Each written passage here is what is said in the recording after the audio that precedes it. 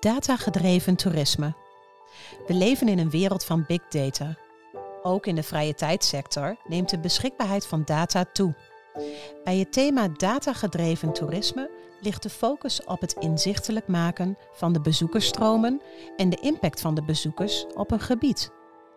Dit gebeurt voornamelijk door datagedreven onderzoek. Het is belangrijk dat deze data toegankelijk wordt gemaakt voor de stakeholders in een gebied. Dit gebeurt nu nog te weinig. Met dit thema helpen studenten de vrije tijdseconomie duurzamer, bereikbaarder, gastvrijer en daarmee competitiever te maken.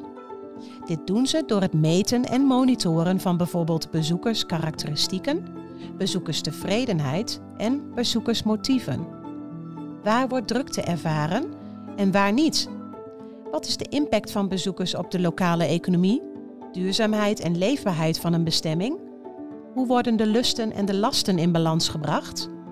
Maar denk ook aan vragen als: wat is de meest effectieve wijze om deze kennis te ontsluiten richting specifieke stakeholders?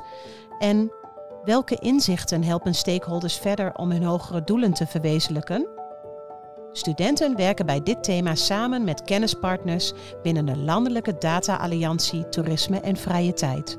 Het gaat hierbij in het bijzonder om partners in Oost-Nederland.